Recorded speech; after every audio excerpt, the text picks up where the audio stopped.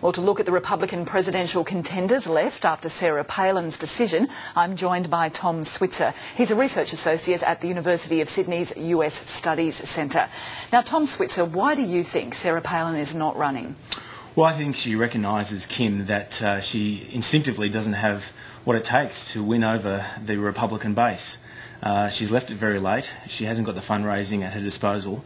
And the fact of the matter is, the Tea Party vote has been pretty much captured uh, by three main candidates on the right of the Republican Party uh, the Texas Governor Rick Perry, uh, the, um, the Minnesota Congresswoman Michele Bachmann, and Herman Cain, the businessman.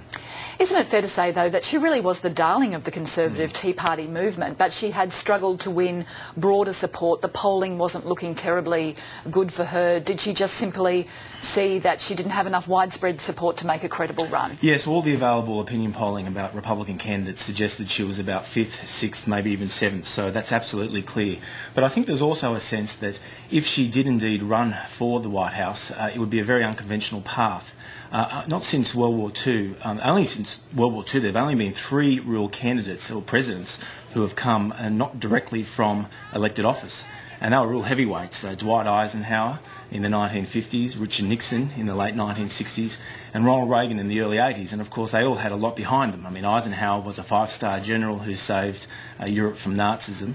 Richard Nixon was a former vice president with a lot of policy gravitas. And Richard Nixon was a very, uh, Ronald Reagan was a very successful governor of a two term governor of uh, California.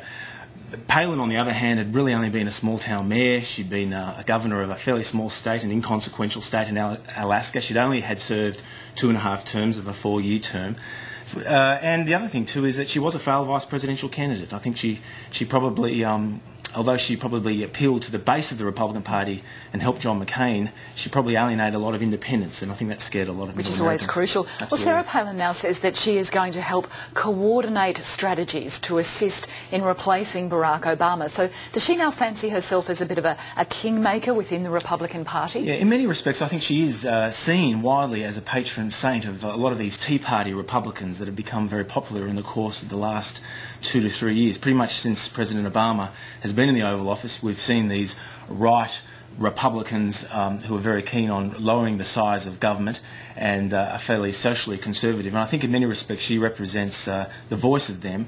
Whom she supports is a big question. Um, certainly, uh, the governor of Texas is a, a, very popular candidate, but he is bleeding right now, and it's largely because of his liberal positions on immigration, uh, a position I suspect that Sarah Palin would not support. So, do you think that she will actually eventually throw her support behind one of the declared candidates, or do you think she will sit on the, the sidelines right until the end, until she can get behind the person that she thinks is going to win, so she can be seen to be on the right yeah, side? Good point, Kim. I think that's exactly right. I think she's just going to sit on the sidelines and just give support and keep bagging away at President Obama's record. And there's plenty of ideological red meat in there for the base of the party as well as middle America. I mean, President Obama is not looking good at the moment. The unemployment rate's very high, uh, his approval ratings are very low, and he's even losing support on his base. So I think that's pretty much the game plan for, for Sarah Palin. So it's quite possible that the Republican Party might even be able to use or would, or, or would like to allow Sarah Palin to become like an attack dog on Barack Obama. Hmm. She's got nothing to lose um, by just going at him all the time. The other Republican candidates can just, you know, find their place,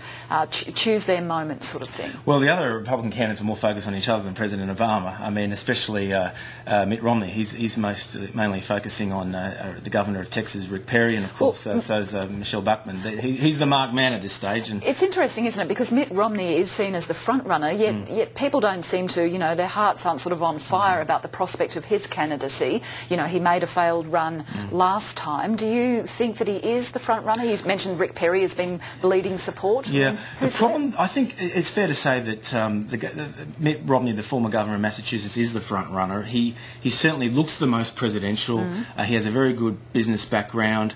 Um, he has a bit of policy gravitas. The problem, of course, for um, uh, Romney is that he's seen as a bit of a chameleon. You know, he had liberal positions when he was the governor of Massachusetts, most notably on health care.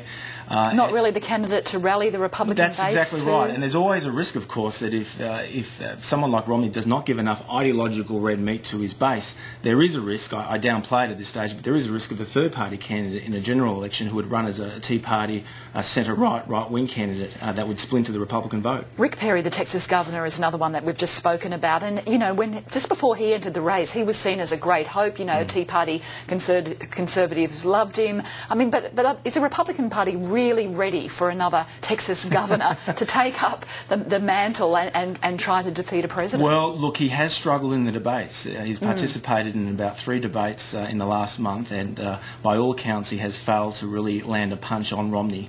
But this issue of immigration, ironically, is hurting him. I say ironically because Perry has, at first glance, all the great conservative credentials you would need to yep. be the nominee. He's quite tough on national security. He's fiscally conservative. He's culturally and socially quite conservative. Uh, but on immigration, uh, particularly the issue of illegal immigration, um, he's seen as very liberal, and he's been interpreted to being very condescending when he when he said that his opponents lacked a heart for not supporting a more liberal policy on uh, Mexican immigration. Uh, so that is now starting to hurt him, and uh, it remains to be seen whether he can bounce back from that. So finally, well, it's a long way out yet, but we always like to, you know, have a go at these sorts of things. What are the chances of one of those Republican contenders defeating a sitting president?